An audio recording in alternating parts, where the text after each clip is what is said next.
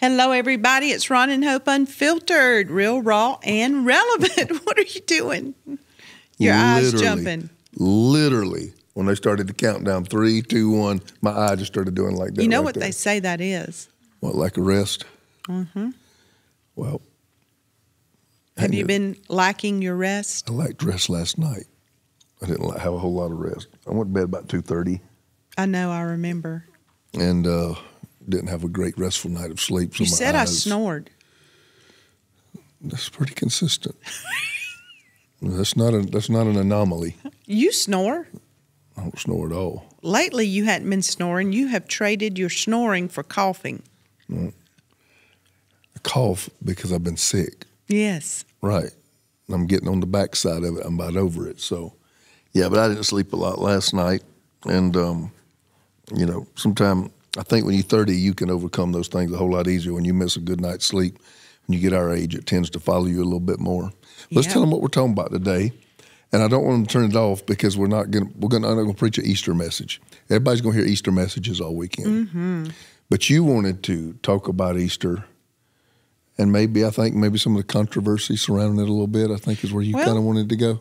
No, I just wanted to talk about Easter in general and all that swirls around with Easter.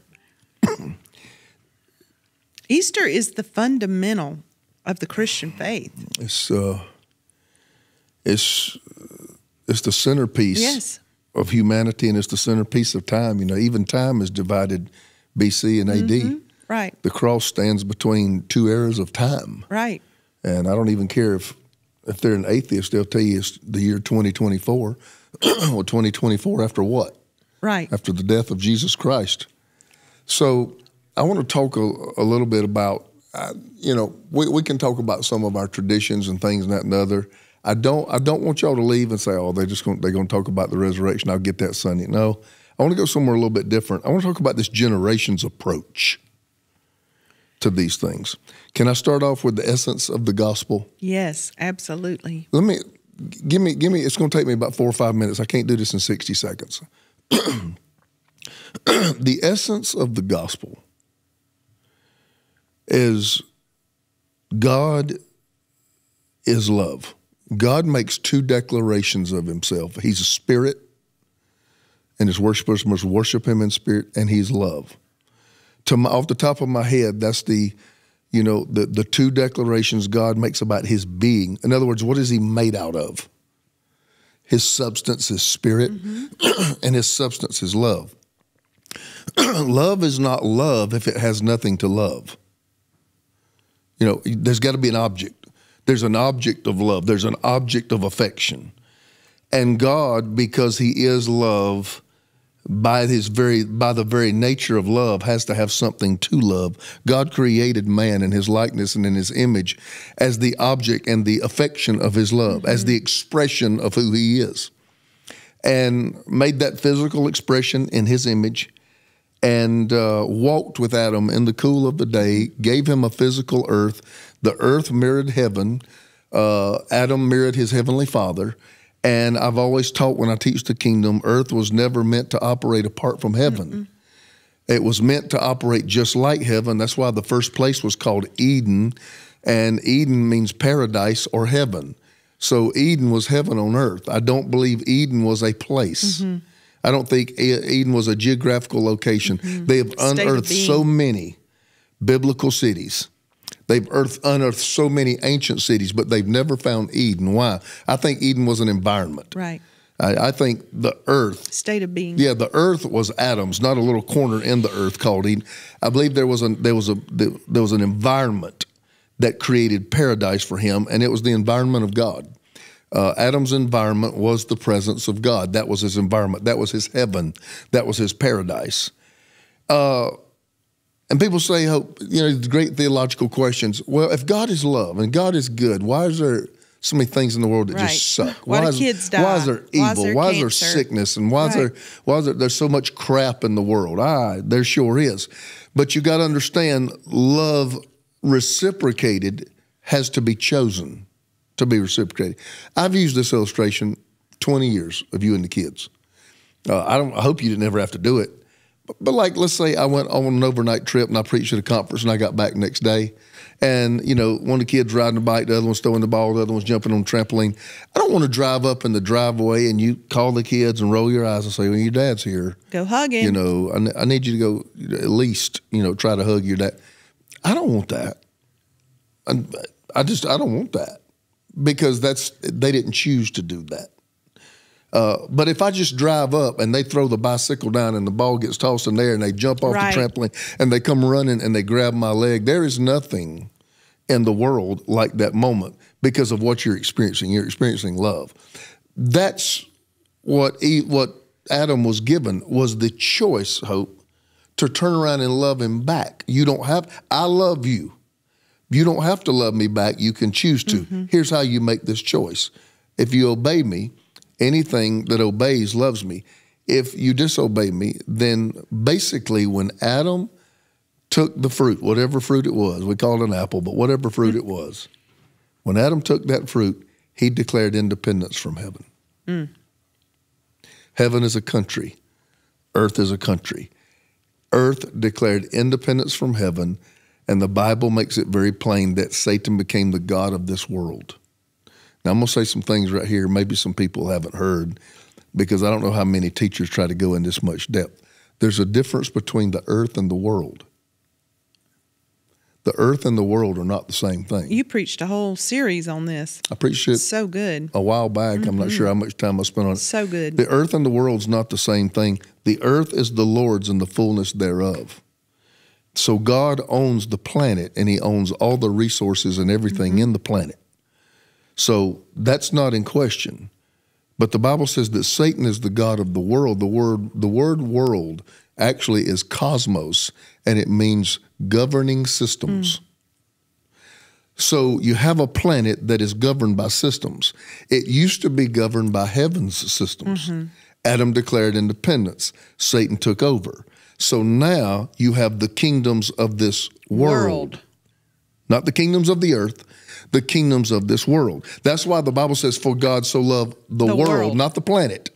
For God so loved the, the world cosmos. that he gave his own. So God so loves and cares about the way that the planet is run that he sent his only begotten son. So Jesus is not is not just for God so loved people. God so loved the world. Yeah. So Jesus is not just the answer for people. Jesus is the answer to the system. Yeah. That's why Jesus said, I am the light of, Of the, the world. world. I'm the knowledge of the world. I am, can illuminate you who are functioning in a system that is dark Mm-hmm. and corrupt. I'm the light of the world. You end up in, this is a lot of stuff being covered. Revelation, where it says, the kingdoms of this world Have have, become become, the kingdoms the kingdoms of, of our, our God, God. and his Christ and his anointed. That's us. Yeah.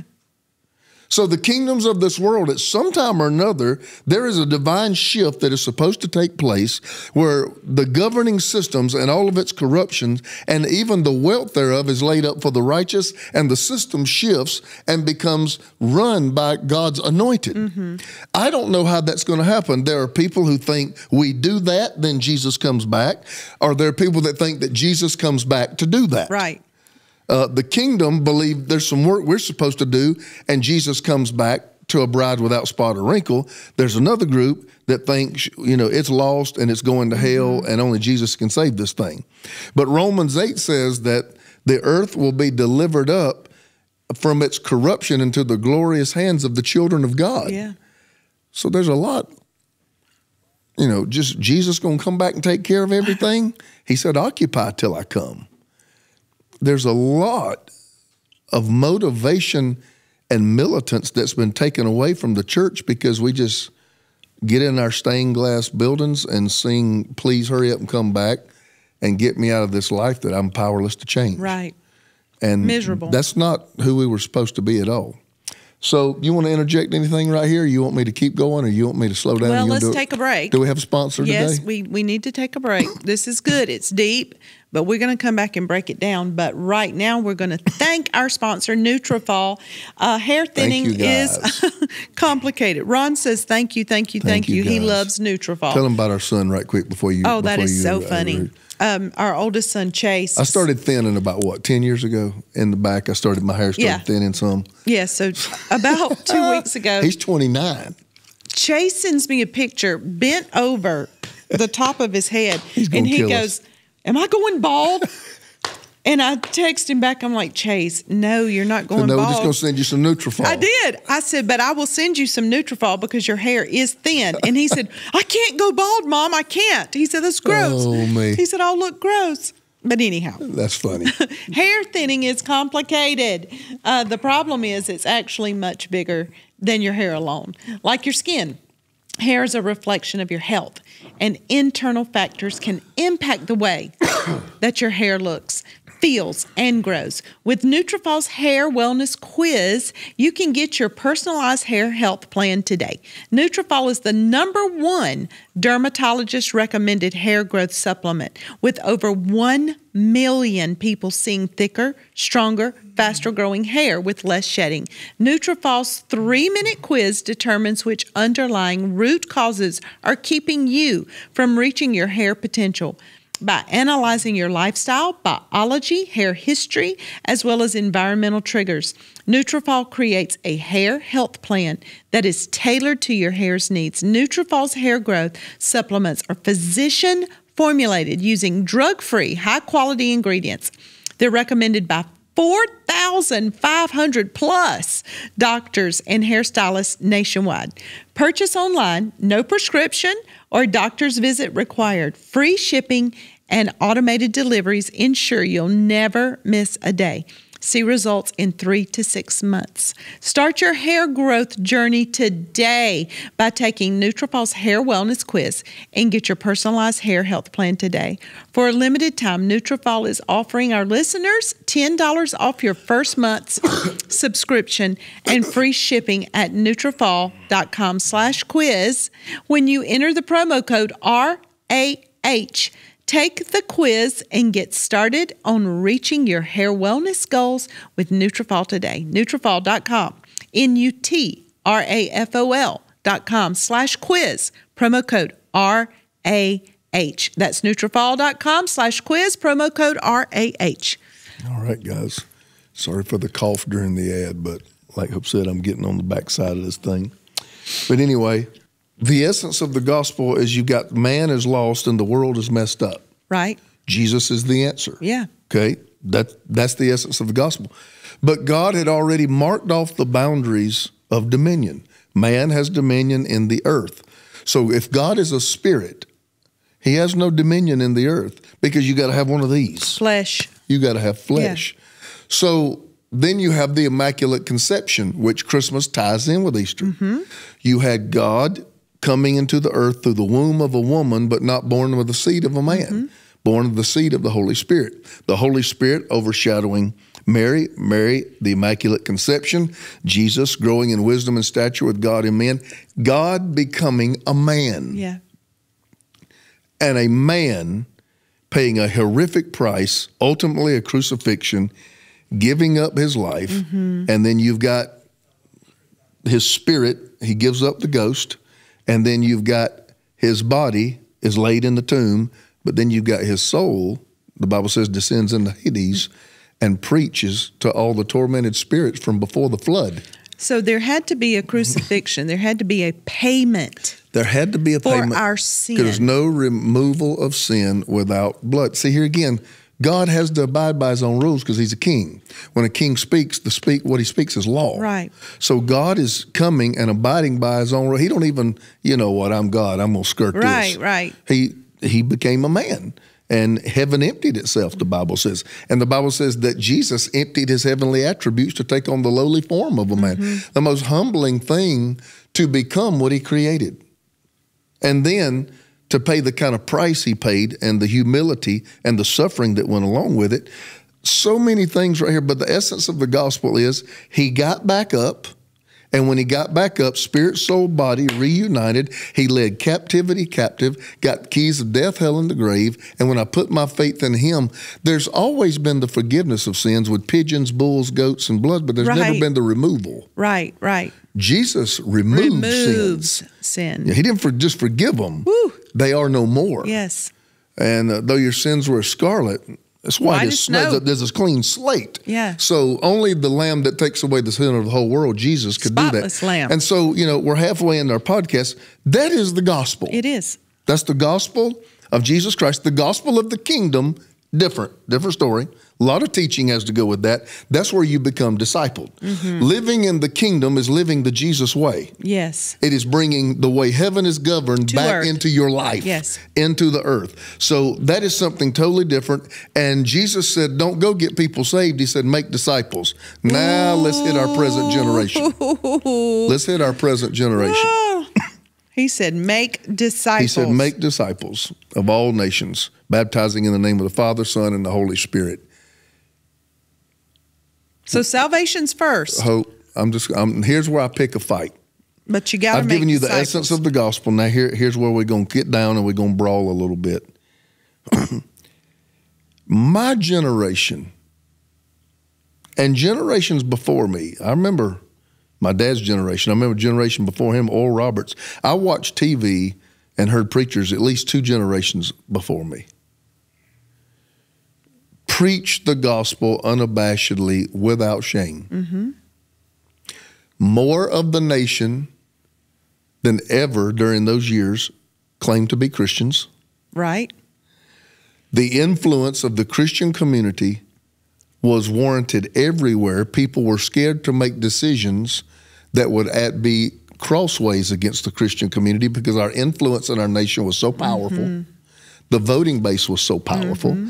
The business base was so powerful. I remember years the malls didn't open up till after church was over. That's right. I remember when I played football in Little League, when we had Wednesday night services, we didn't have practice on Wednesday night to ensure No. the kids could go to church. This right here, I've got millennials and Gen Z looking at me probably right now like I landed from outer space. You know why?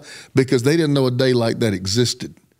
Because now that we're scared to death To offend to anybody. preach the gospel.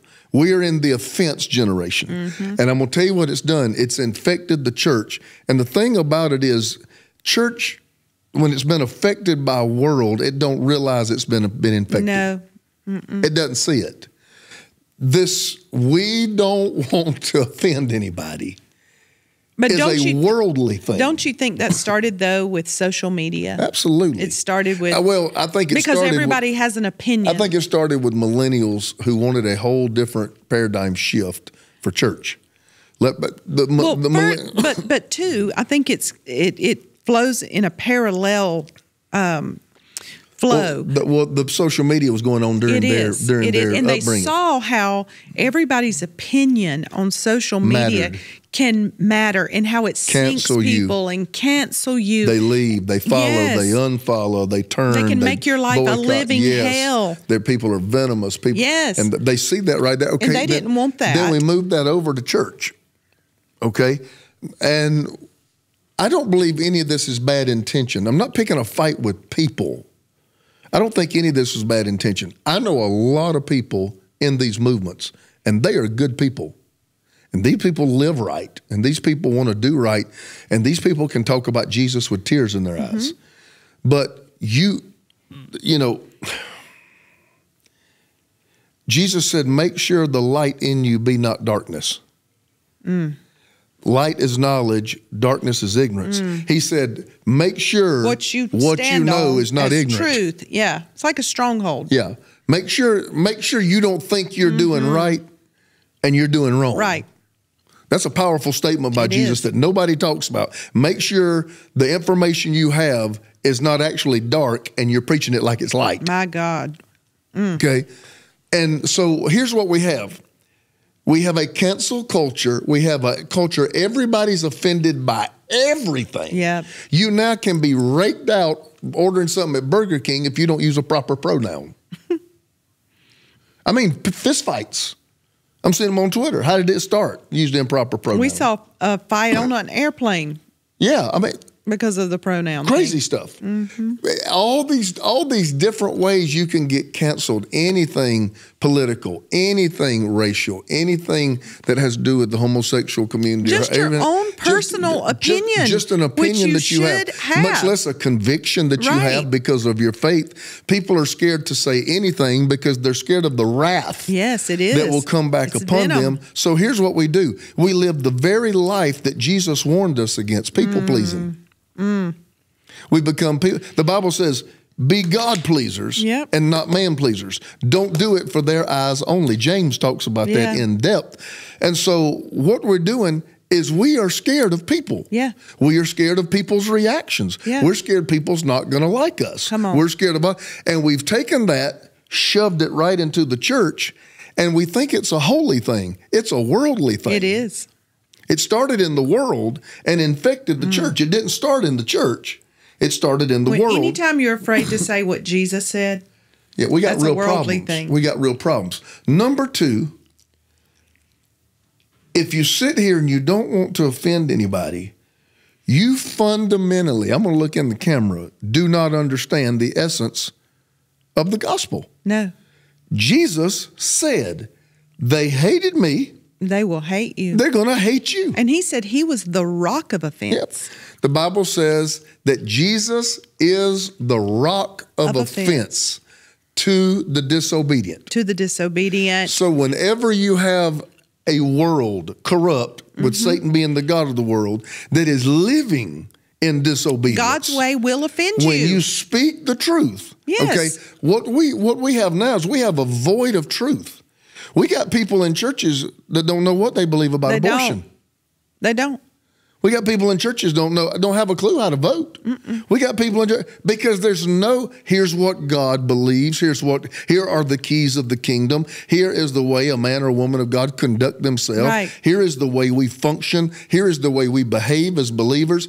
None of that's being said. No. It's, it's still relationships Fluffy and stuff. anxiety. Fluffy stuff. It's relationships. and- So we got this whole 2,000 pages of the Bible where God speaks and wants somebody to thunder through that microphone. Thunder. He wants the preachers to preach. He want, yeah. How will they know if um, there's not a preacher? That's right. That's what that's what Romans says. Yeah. How will they know if there's not a preacher?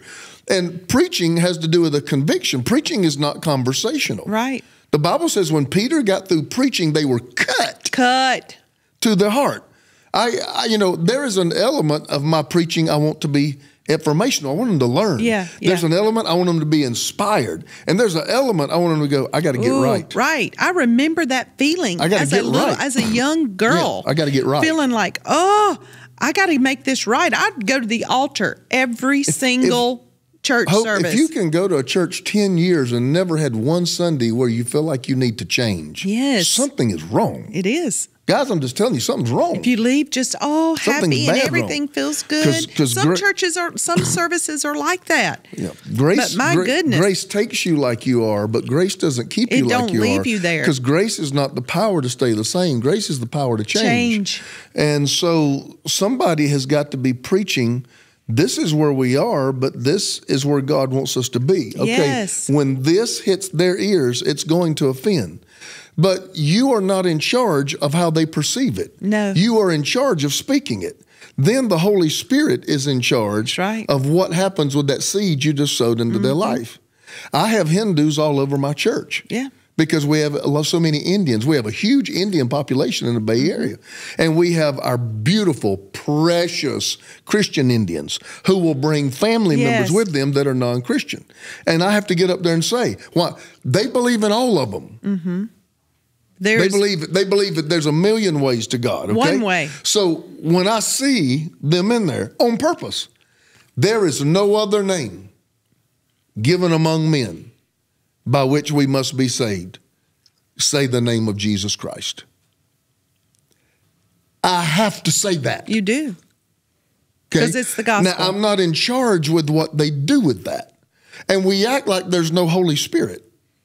Right. The Holy Spirit takes that word and takes that person. Let me tell you something. When I left churches and I was sinning and I was in sin or a sinner, let me tell you something. The Holy Spirit, It's like I would close the door of my car and the Holy Spirit would Yeah. get in the passenger seat. Okay, let's mm-hmm. talk about this thing. Mm-hmm. So we think that they, because they didn't come back next Sunday, oh, we offended them. They are dealing deeply Yes. with everything you said. You wanted to see him next Sunday, or you offended him. He's Lord of the harvest. Yes, he not is. you. Yes, he is. He's Lord of the harvest. So, however long it takes for that seed, that seed, it depends Some on a plant. person's readiness. Yeah. There are some people that get saved and will change forever that day. They're done, they're tired of it, Yep. they're sick of it, and they want out Some of it. Some plant, some water. And there's some others that are not ready to go there. time. But they're now having to wrestle because the truth will not let them go. But we don't stop preaching truth. exactly right. It's got to be preached. It's got to be preached with some sense. Yeah, speak the For truth instance- in love. The Bible instance, says. Let me, let me tell you. Let me tell you what I mean about some sense. I had some bullying happen to me, Hope. I knew they were bullying me, and I knew who they were talking about because they didn't veil it very well. They Hmm. were kind of calling me out without calling me out. When the Supreme Court over overturned Roe versus Wade, which is monumental and historic. Yes. Most people never thought it happened, especially in our lifetime.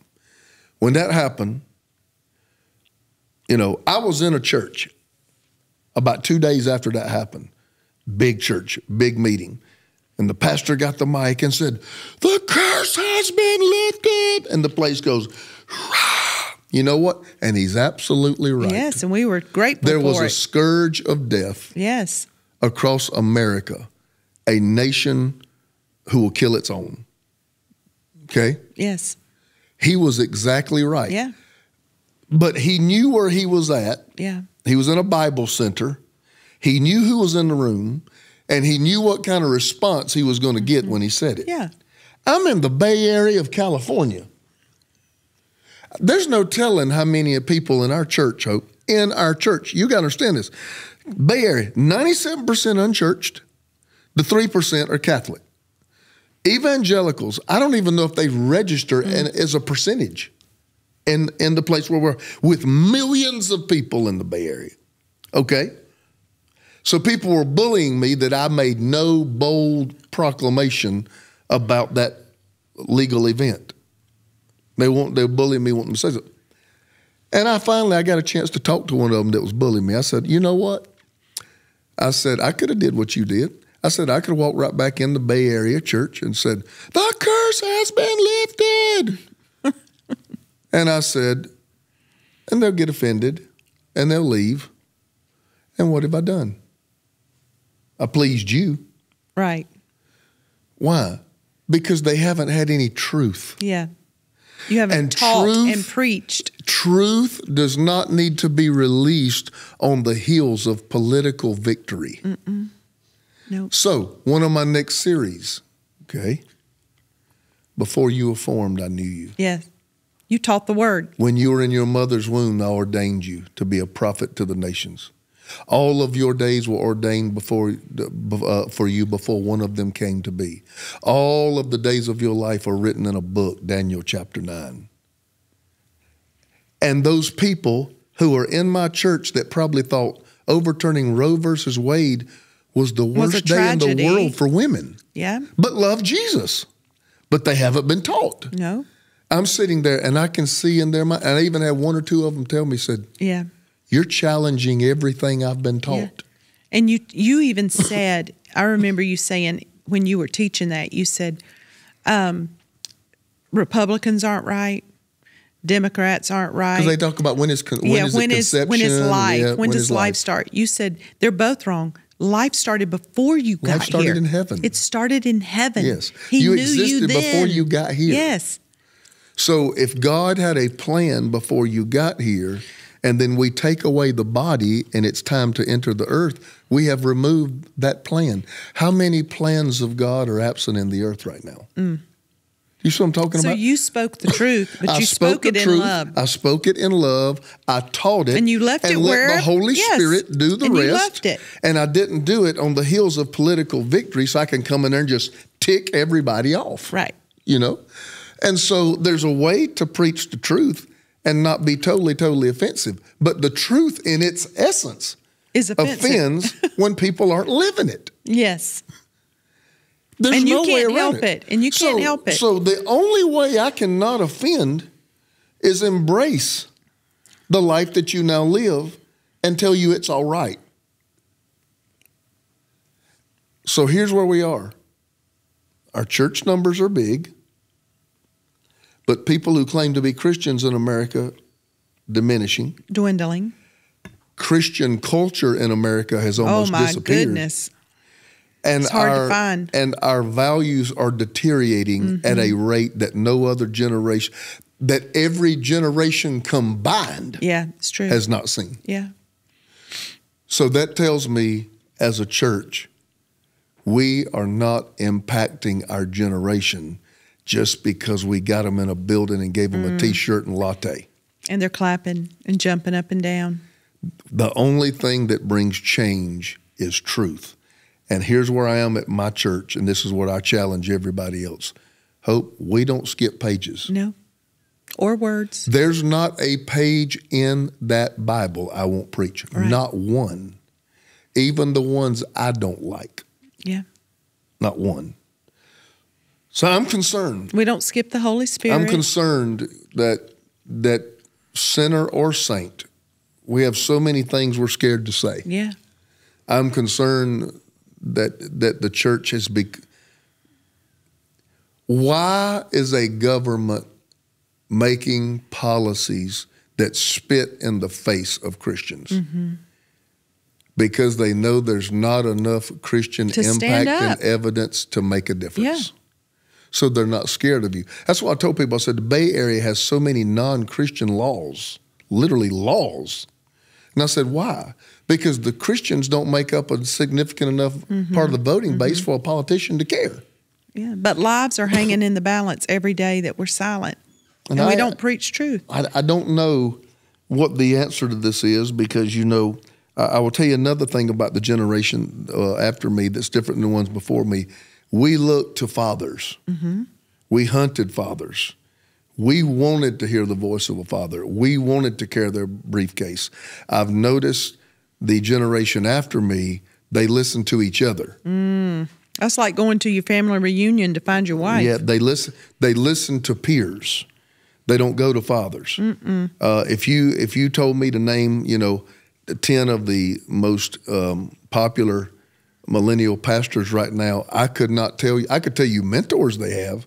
Mentors, somebody who helped them build their church and devise their system and help them organize their organization. But somebody who has fathered them and mm-hmm. schooled them in their theology, Yeah. which I'm hearing some of the craziest theology I've ever heard, who's, who's anchored their character, who anchors them right from wrong, who reels them back in, who keeps them humble, and who ensures that they're preaching the gospel Yeah. and not just all this other fluff. I don't know who those fathers would be in these guys' lives. And that's You've tried to be some of their fathers, but No, they won't let it. And and they won't let it happen. and they're a father up until you challenge Yeah. something they believe. And another thing is, if they got more people in a building than you, why should they listen to you? And what they don't understand about a father is, I'm not here to have an arms race on who has more people sitting in a Yeah. building. And as long as you got more people in your building, I can listen to you. That's not what a father is. Those are mentors and teachers. Yeah. Go find somebody to help you build your church bigger. I ain't got a problem with that. A father anchors you to who you are. your character. A father anchors you to your character. You'll mm-hmm. never outgrow your father. You'll outgrow mentors and you'll move from one level Yes. to another level to another. You will never outgrow No, a your father. your father can still jerk your chain. your, father will jerk your chain. Yep. And when you think you all that, and when he, when you think you're like, it's like Samuel when he came back to Saul. I remember when you were small, in your, own, eyes. own eyes. Yep. Sa- Saul, when Samuel first started talking to him, Samuel was a prophet. Saul was a nobody. Mm-hmm. Saul was a king. Mm. Samuel, Yep. you know, I got too much influence now. Mm. And uh, influence without a guide, that's scary. And so these are these are some things that I see that, that are troubling, and I felt like I need to speak Yeah. to it. And I'm thankful. I'm thankful for the truth of this weekend we're about to approach. the es- the true essence of what it really Yes. is that There- will be proclaimed boldly at redemption. Yes. I, I there was a high price to pay Yes. for my life. And I couldn't pay it. And only a spotless lamb mm-hmm. spilling holy blood, redeemed my life. There was a death and resurrection. And I am grateful that for it. redeemed me from the pit.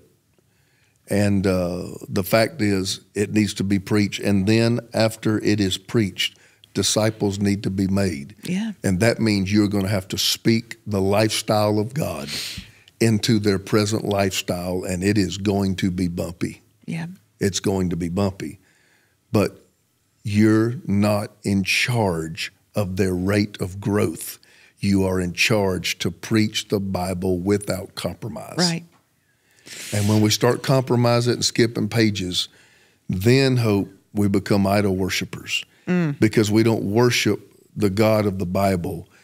We have a lifestyle we want to live. Oh, we my. Mm. pick the scriptures that suit our lifestyle. Fit Jesus and we fashion a Jesus Yeah. that suits our lifestyle. right. And then we become an idol worshiper because that's not Jesus at all. No. And so I want to call everybody back to the true essence of the gospel this Easter. I told you I felt this week, I've done 33 Easters Mm-hmm. as a pastor. Feels like There we've done 3,300. something- There's something different about this week. I couldn't even have a planning meeting for crying. And a planning meeting, it wasn't nothing to cry about. We're, we're planning logistics, moving things around the stage. When this happens, light goes, and I was weeping uh, on the plane. You saw me on the plane when I was going from West Coast to East Coast. I just immersed myself in, in the story. I read it from three different accounts. And uh, I want, I'm starting today, I told the Spirit of God, I want to read the Easter story every day all the way through till Sunday because I want, I want a rebirth of its true meaning in me. When you do 33 of them, it can become true. familiar. And I want it to be like it's the first time I've been touched by Yeah. the gospel and my heart was shaken and tears filled my eyes and there's a warmth in my soul and I knew he was near me. Yeah. And I just believe something special is going to happen this weekend, but I'm calling you guys to go with me. Go with me as people who speak it in an uncompromised fashion. Don't care how creative you get, that's fine. I don't care if you use props, that's fine. I don't care if you use videos, that's fine. I do some of that too. But when you finish, however you do it, make sure they've heard the real message. Amen. Because only the truth can make you free. That's it. The Nothing truth else. is what makes you free. It's been good. Yeah, it has. So until next time, it's Ron and Hope Unfiltered. Real, raw, and relevant. Raw, and relevant. Jesus healed my eye from jumping while we were having a podcast. we love you. We'll see you guys later.